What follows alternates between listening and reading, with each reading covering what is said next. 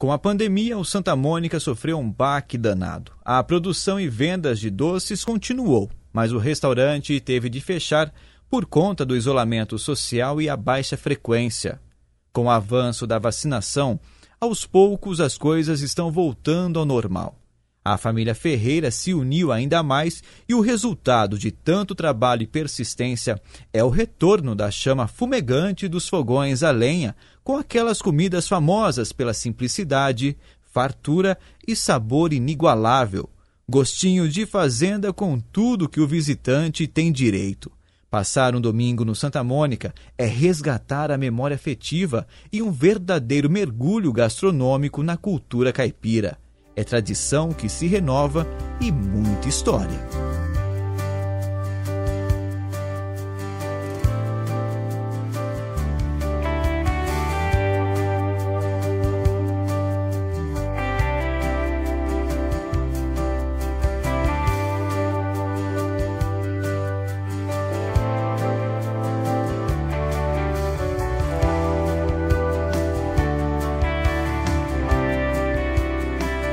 Conversar então com a Vilma, né, que é a matriarca aqui da família. Está aí no dia a dia do restaurante aqui do Santa Mônica. Começou tudo com a fábrica de doces, depois se transformou em restaurante e também a fábrica de doces. E podemos dizer, né, Vilma, que o seu restaurante aqui ele integra esse conceito de turismo rural gastronômico, né? Isso, sim, senhor, é. é. Agora, que gastronomia, hein? Estamos vendo nas imagens aí. Aos domingos, né, o restaurante continua aberto, apesar da pandemia. Eu queria que você dissesse, né, uh, como é que está sendo atravessar esse período de mais de um ano aí, com esse isolamento social, de que forma que essa pandemia afetou o seu negócio? Foi muito, tá, muito difícil para nós, nós estamos na luta, né? Fazendo uma coisa, a gente fazendo queijo, linguiça, Pedrinho vendendo. Estamos, graças a Deus, sabe, dá para se manter, mas foi difícil essa pandemia, esse um ano parado. E você chegou a fechar o restaurante por algum período ou não? Fechamos, um ano e dois meses. Um ano e dois meses. Aí ficou sem contato com o público, mas agora reabriu e o, Isso, a clientela voltando aos poucos, faz né? um mês e meio que abrimos. Tá, mas estamos vendo pelas imagens aí que não é o movimento ideal, mas está crescendo, né? Está crescendo. Se Deus quiser, a gente tem esperança de melhorar. É muito tradicional, né? É, é. O pessoal gosta muito, comida caseira, fogão de lenha, que hoje é tão difícil lidar com fogão de lenha. Mas se Deus quiser, a gente chega lá. Quer dizer, não é um fogãozinho de lenha qualquer, não, né? Tem muito restaurante por aí que a gente vê que a exposição dos pratos é no fogão a lenha. Porém, lá dentro da cozinha, isso. os alimentos são preparados né, no, no gás mesmo. Aqui isso. não é isso não, né, viu? Não, não, aqui é fogão de lenha. Tanto é que você viu, né? é fogão de lenha mesmo. Agora, por exemplo, eu que, que gosto de praticamente tudo, né? Fica difícil escolher, né? Tanta opção que você faz aí. Né? Isso. Mas o que mais o pessoal gosta é o carneiro e o frango caipira com polenta. Não pode faltar, né? Que não pode faltar. É, não, não pode mesmo, de jeito nenhum. Todo domingo tem que ter. Estamos acompanhando também, né, o, viu, um movimento, né? É, é um ramo de negócio, né, que tem um custo bem alto também, né? Isso, tem. Bastante. Fica difícil para a gente para tocar, mas vamos levando, né? Vamos ver. Então, para quem está acompanhando as imagens aí daqui do Santa Mônica, dá para perceber que, né, que a família trabalhando junta e também é um ambiente rural, mas naquele rural de essência mesmo, né? Para ver as crianças aí, estamos no, no, meio da semana agora, pessoal brincando, né? As crianças brincando ali no pasto, ali tem boi, tem vaquinha, tem tem cabrito, tem carneiro, tem até nenezinho de, de, de cabrito ali. É. é. um contato com a natureza que as pessoas, ao virem para cá no domingo, também podem de, de, desfrutar disso, pode, né, Vilma? Pode, pode sim, pode andar por aí, pode. Tem a, a, a baia lá em cima, a, onde pista de laço onde o pessoal treina, pode sim, pode vir ver, ficar à vontade. Quer dizer, dá para passar o dia aqui, né?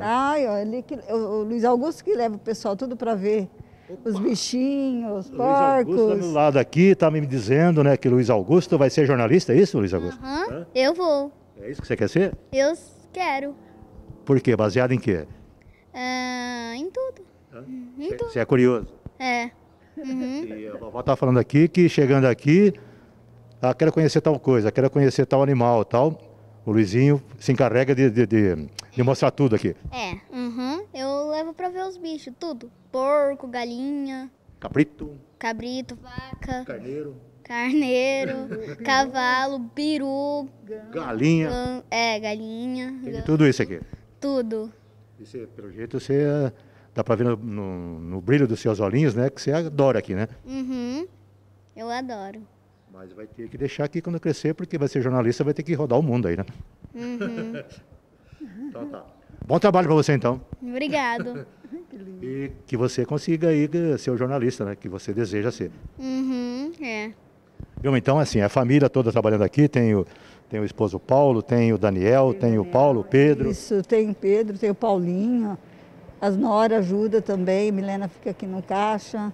Então, A família toda trabalha juntos. Então tá, é um a passe- Patrícia, Um passeio, ó, que vale a pena, não só pela comida gostosa, que falar da comida aqui do Santa Mônica é uma heresia, né? Porque é só provando mesmo para você sentir o que é o sabor da terra, o sabor de uma comida feita no fogão a lenha e fora essa tradição e o atendimento que é totalmente familiar. Agora, Santa Mônica, vamos ver aqui com o Paulão. Chega aqui, Paulão, por favor. É Santa Mônica, né? Tem uma tradição de família, mas também aqui onde estamos aqui tem imagens de Santa Isildinha. Queria que o Paulão explicasse aí a origem do nome Santa Mônica e também porque você divide o espaço aqui com duas santas, né? É, o, o problema do nome Santa Mônica é que o, o sítio já tem o nome Santa Mônica, desde que o meu pai adquiriu o sítio, né? E o, o restaurante passou a ser o mesmo nome, né? O restaurante do sítio Santa Mônica. E a imagem da. a- o, quadro da menina Zildinha que está do lado do, do quadro da Santa Mônica é porque a gente é muito devoto da menina Zildinha, que ela é muito milagrosa, né? Não precisava nem chamar menina Zildinha, teria que ser Santa Isildinha, né? Não é santa ainda. Não é santa ainda, ela está no mausoléu em Monte Alto.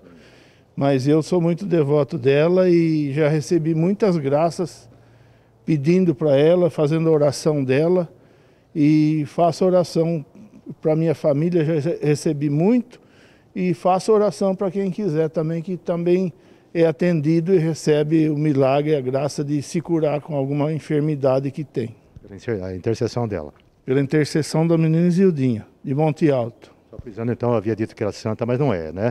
É a menina Isildinha que não, ainda não é santa ainda. É, não- ainda não é santa, ela é a menina Isildinha, ela não foi canonizada ainda, né? Então a gente está fazendo de tudo para que ela seja canonizada. Paulo, parabéns aí pela família, pelo trabalho de vocês e persistam, né? É, eu agradeço e muito obrigado vocês terem vindo fazer essa reportagem aqui, que eu, e agradeço também o Teodoro, que está sempre dando uma força muito grande para a gente. Fechou então, Vilma, faça o convite para quem está em casa, né? Para quem ainda não conhece, para vir aqui e para aqueles que já conhecem, fala, estamos né, trabalhando normalmente. Claro, com os protocolos de distanciamento necessários por causa da pandemia. isso, estamos trabalhando com tudo certinho, com os protocolos tudo certinho. Vamos abrir Dia dos Pais também. Quem quiser participar tem que reservar. E vem experimentar, vem, vem saborear nossas comidas aqui, caseira.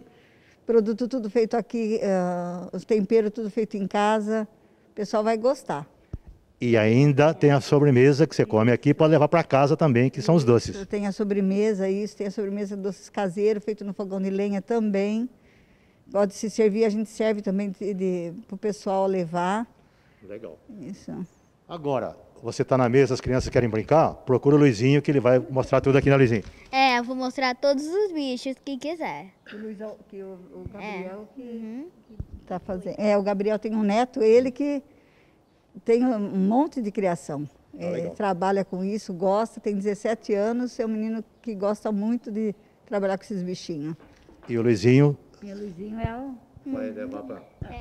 Pra conhecer os bichos. Então faz o convite pessoal lá em casa. Vai vir para Santa Mônica. É, vem aqui pro Santa Mônica pra almoçar e ver os bichos também. E passar um dia feliz. E passar um dia feliz.